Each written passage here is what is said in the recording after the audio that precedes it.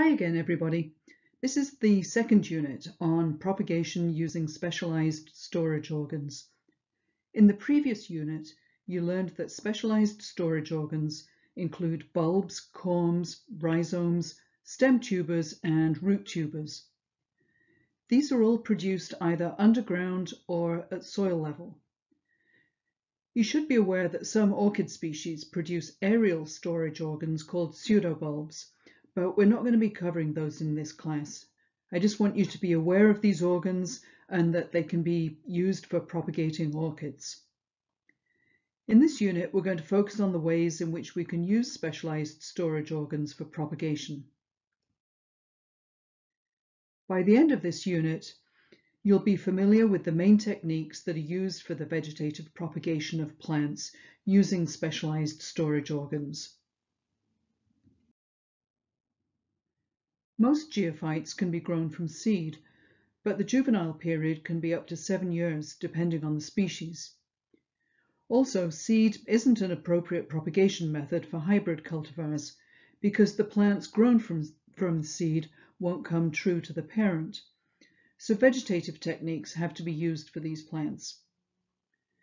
Tissue culture is used for the rapid multiplication of new cultivars and for the production of virus-free stock but traditional vegetative propagation techniques are still used for many geophytes.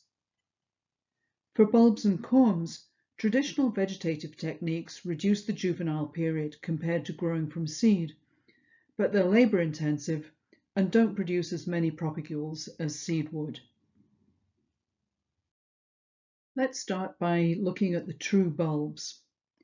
There are several propagation techniques that are used with bulbs, including separation, scoring, scooping, chipping, and twin scaling. And we're going to take a closer look at these. On the right, you can see a picture of the cormous plant, Crocus sativus, which grows to about 10 inches tall. And this is the plant that saffron is derived from. And it's amazing to think that 200,000 stigmas have to be handpicked from this plant from 70,000 crocus flowers in order to produce just one pound of saffron. Many bulbs, including daffodils and tulips, which are pictured on the far right here, self-propagate vegetatively by producing offsets, and these can easily be separated from the mother bulb.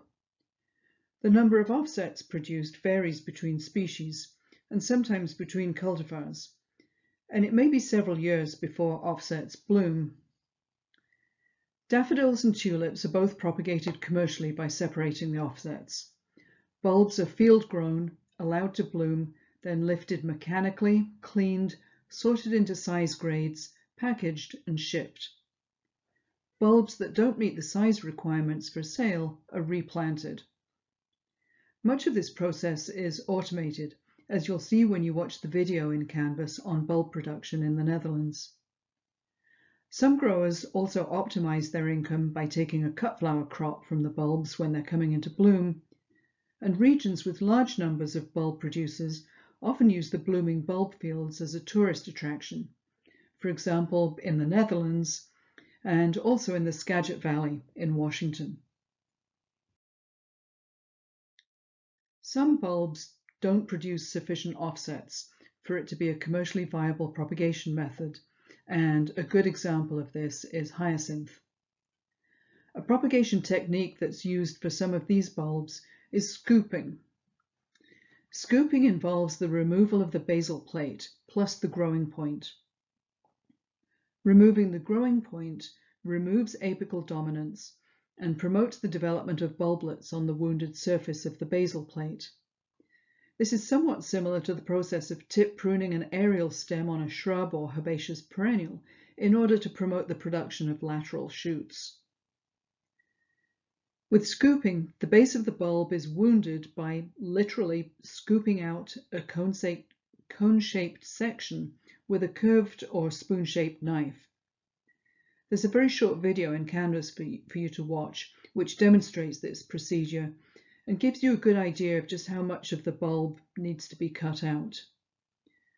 Really good hygiene practices and use of a fungicide on the cut surfaces are usually essential for scooping techniques. After scooping, the bulbs are placed upside down in sand or perlite or in open trays in a dark, dry environment at around 70 degrees Fahrenheit for a few weeks for callus to form on the cut surface. After callus has formed, the bulbs are exposed to higher temperatures of around 85 degrees Fahrenheit and about 85% relative humidity because this facilitates bulblet formation on the callus tissue. Depending on the species and size of the mother bulbs, around 30 to 60 bulblets may be produced. Spring blooming bulbs like hyacinth, which have been scooped and have bulblets attached, are then planted in late fall upside down with the bulblets still attached and on the top. It takes three growing cycles for hyacinth bulblets to grow to about a 4-inch saleable diameter. In the photos on the right here, you can see hyacinth bulbs that have been scooped and planted, and the photo on the right is actually a tulip bulb that was scooped, and you can see the young bulbils produced on the exposed um, bottom side of the bulb there.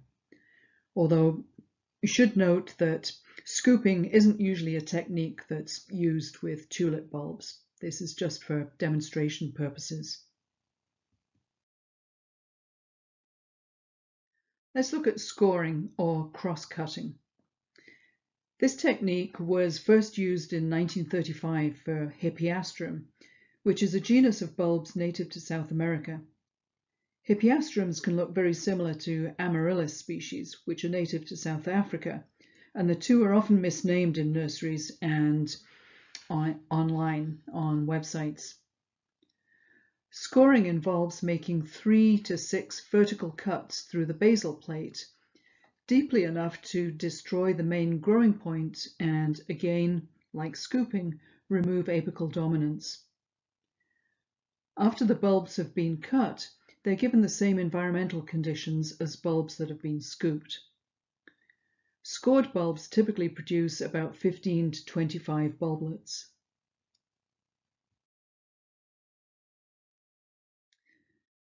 Chipping is another useful method of propagating true bulbs that are slow to produce offsets. Midsummer is usually the best time to do this with spring blooming bulbs such as narcissus, snowdrops, and Dutch iris. A mature mother bulb is cut vertically into equally sized wedges or chips, each including a part of the basal plate, as you can see in the photo on the bottom right here. The chips are treated with a fungicide and placed in bags with moist vermiculite or perlite. They're then incubated in the dark at around 20 degrees Celsius, so just under 70 degrees Fahrenheit, for about two to three months until bulblets form around the basal plate of each chip. In the fall, the chips with the bulblets attached are planted and grown on for about two years in a frost-free environment until the bulblets are large enough to be separated from the mother bulb. With twin scaling, a mature bulb is first cut vertically into wedges in the same way as the chipping technique described in the previous slide. The wedges are then further divided by sliding a thin blade, such as a scalpel, between every pair of concentric scale rings and cutting through the basal plate. Each of these pieces makes what's called a twin scale. So if we look at the photo on the top right here, you've got a, a wedge and this is clearly relatively old because it already has a bulblet forming between the scales. But if we wanted to make twin scales out of this wedge, then what we would do is count one, two scales from the outside, and then we'd slide a scalpel blade between these scales and cut them off together with a piece of the basal plate. And then we'd go in two scales again, slide the blade in and make a cut. And then same thing again, right there. So That's what we do to make twin scales. After doing the cutting, twin scales are disinfected and grown on in the same way as the larger chips described in the previous slide. Twin scales can be really fragile and they're really vulnerable to drying out. With this technique, fewer bulblets are formed than with scooping or store, scoring techniques, but the bulblets are usually bigger. As you can imagine though, this is a really time-consuming technique. If you're going to try twin scaling, I think it's good to practice first on relatively, relatively large and relatively cheap bulbs, such as daffodils.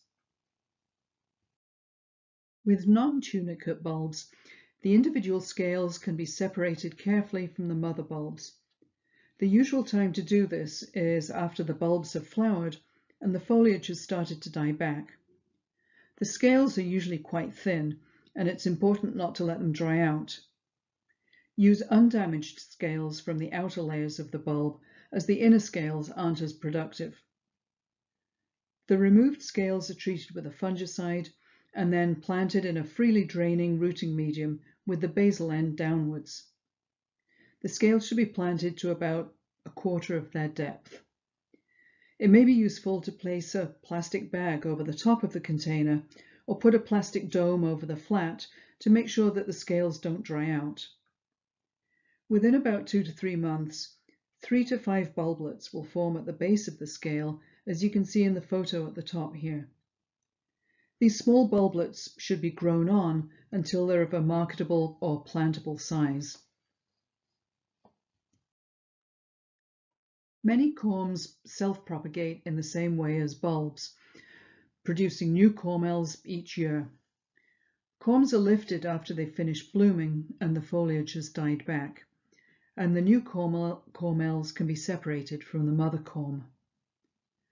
The photo here is of cro crocus corms clearly showing last season's mother bulb at the bottom right here, and the new cormels produced on top of that, and also to the side of some of these mother bulbs. You may remember from the previous unit that usually with corms, the mother corm is completely metabolized during the growing season and by this time of year is usually completely shriveled and not looking quite as um, full and plump as the, the corms do right here. Most rhizomatous plants can be propagated by division. The time of year at which this is done may be important for optimum success. For example, Douglas iris, Iris douglasiana, and the Pacific Coast hybrid irises are divided in the fall when new roots start growing. Bearded iris rhizomes, which you can see in the photo on the right here, are dug up in the summer after blooming's finished and they're divided into segments, each with at least one stem. Yucca filamentosa color guard that you can see in the photos here is a really popular architectural plant used in California landscapes. It forms a basal rosette of tightly spiraled, brightly variegated foliage and each spring produces an upright branched stem that bears white bell-shaped flowers that are slightly fragrant. Below ground, this plant produces thick finger-like rhizomes that are about one and a quarter inches diameter. And there's a growing point at the end of each of these rhizomes. And you can see them in the photo here on the right with this sort of creamy yellow, creamy white portion of the rhizome. So there and, and there. Here's Yucca filamentosa color guard again with a close-up of the rhizomes. In the photo here, you can see the growing point at the end of this rhizome, even though it's not in focus. And the small creamy white dots just here and here are the eyes or lateral buds that will sprout and produce new shoots. Color guard can be propagated by cutting the rhizomes into sections, as shown in the picture on the bottom left. Each one of these sections is about two inches long, although the one on the bottom looks a little longer than two inches. You could, you could treat the rhizomes with a fungicide before planting them, but I've never found it necessary to do so. If possible, I like to avoid using chemicals for environmental reasons. Also, why expose yourself or workers to chemicals unnecessarily? And if we want to be purely mercenary about it, not using a chemical is one less step of labour that has to be paid for and less money that has to be spent on a pesticide. These rhizomes, once they're cut, are planted about an inch deep straight into a freely draining potting medium. The rhizomes can be pretty slow to sprout though. If you're wanting marketable plants quite quickly, you can cut some of the rhizomes that already have a well-formed rosette of foliage on them. Many plants with tuberous stems can be propagated asexually by dividing the tuber into sections. Each section should contain one or more eyes, which are areas of meristematic growth, which are going to produce the new shoots. The cut surface is susceptible to infection by pathogens, so the cut sections are often stored in a warm, moist environment at around 68 degrees Fahrenheit to allow the cut surface to heal or suberize before planting. The photo here shows a very old hybrid begonia at Cabrillo, which has three very large stem tubers. You, you may remember this photo from the previous unit. If we wanted to be cautious, we could just separate each of these three big tubers and replant them. If we want more plants though, we could cut each of these tubers into sections, remembering to make sure that each section has an eye that'll produce new shoots.